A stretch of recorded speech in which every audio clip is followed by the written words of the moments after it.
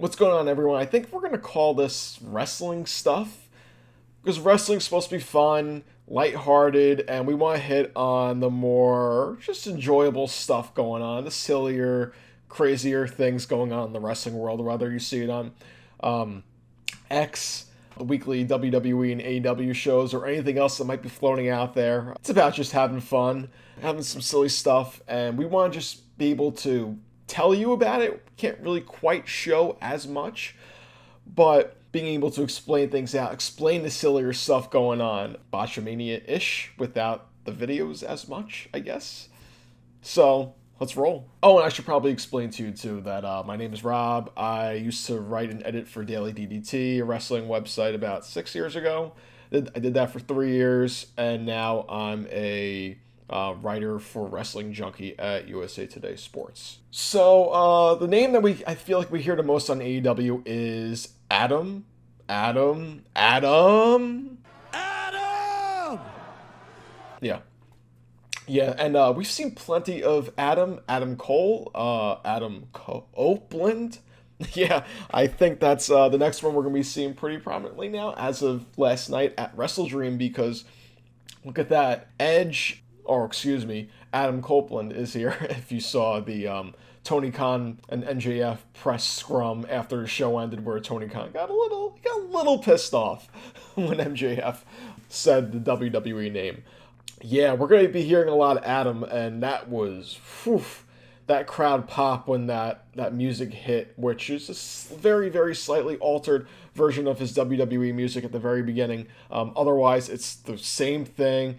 R rated R superstar, all that's here on this day, I see clearly, and seeing that or hearing that in not a WWE environment is, I mean, I never would have expected that expect that to happen a couple months ago. But then hearing it now is just, whew, it's it's unbelievable, man. Goosebumps, chilling, and for the people sitting in that arena there, that's unbelievable. The only thing missing now is just for Roderick Strong to come in on the first segment that uh, Copeland has on Dynamite on Wednesday. I mean there's no other way of going about this. You gotta have him come out and scream Adam, especially when Adam Cole's now out for an with an injury. Gotta have that at some point. I mean, just be the funniest, funniest thing possible. Um, yeah, you know, have yourself a day, Mr. Copeland. Have yourself a week. Have yourself a, a run with AEW because this is gonna be freaking fun. And he just looks freer out there. He looks freer. Looks like he's enjoying himself, and that's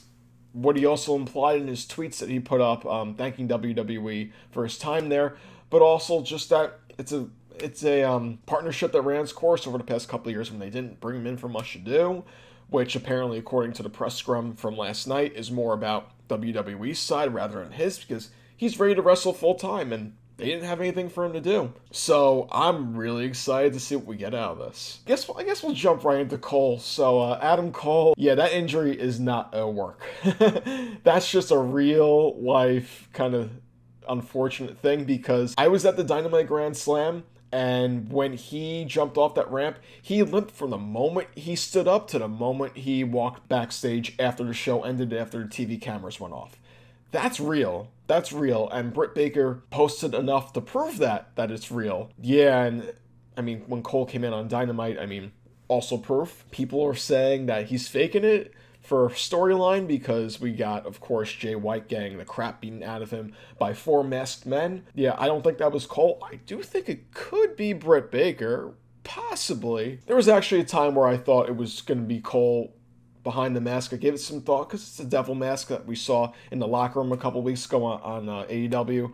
But that's just too obvious. That's way too obvious. And um, yeah, I'm gonna say could be Britt Baker. Maybe it's gonna be returning Danhausen. Maybe, but maybe it could be Britt Baker recruiting all those goons from the from the kingdom to help out. Maybe it's Maria Kanellis helping out there too. Possibly. A lot of different options.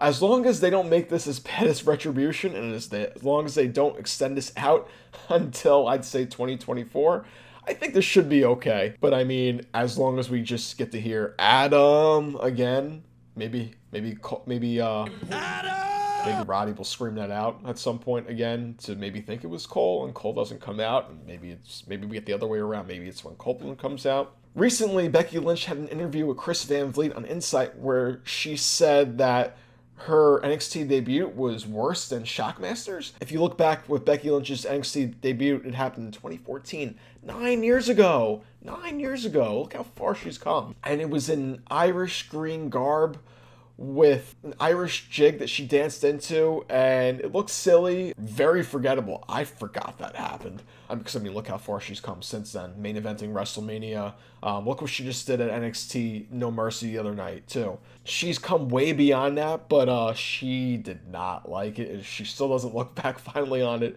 But the way how she looked at it was she evolved from it, and like so so many other people in pro wrestling have evolved from silly gimmicks. I guess most notably you want to say in WWE.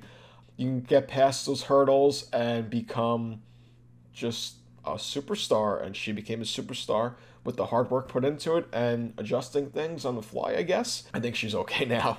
Definitely think she's okay. Another recent example of this, I guess, is Tiffany Stratton because she started off as the rich girl, daddy's girl gimmick, and she basically dropped that for more of an entitled kind of persona, but I mean, she's just a natural at this thing. I mean, you saw the match she put on with Becky Lynch at No Mercy.